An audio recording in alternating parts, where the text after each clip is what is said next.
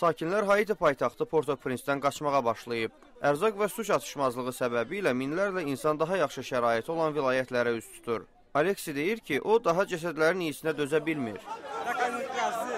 Ev dağılıb, evdəkilərin hamısı evin altında qalıb və ölüb. Artıq burada qalmaqdan qorxuram. 10 ildən çoxdur ki, bu şəhərin əhalisi artaraq 3 milyon nəfərə çatıb. İnsanlar böyük şəhərə gələrək iş axtarır və daha yaxşı həyat yaşamaq istəyirdilər.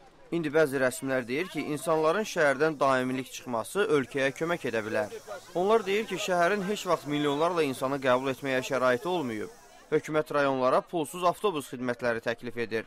Səhiyyə naziri Alex Larson Amerikanın səsinə bildirir ki, şəhər ətrafında sığınacaq tapanlar oranı tərk etməlidir. Əgər kiminsə şəhərdən kənarda ailəsi varsa, Port-au-Prince-i tərk edib onların yanına getmələri yaxşı olardı. Bu, buradakı insanlara da kömək edərdi. Ancaq hamı şəhərə tərk etmək istəmir. İnsanların müvəqqəti sığınacağı olan milli stadiona baş çəkdik. Adelaine Kasimir deyir ki, Port-au-Prince onun üçün yeganə evdir. Burada evim, uşaqlarım var.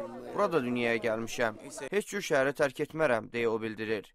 Bugün isə Haiti prezidenti René Preval 200 min nəfərin ölümü və paytaxtın böyük hissəsinin dağılması ilə nəticələnən zəlzələdən sonra evsiz qalan insanlar üçün əlavə 200 min çadıra ehtiyac olduğunu bildirib. Vaşinqtondan Emil Qoliyev, Amerikanın səsi.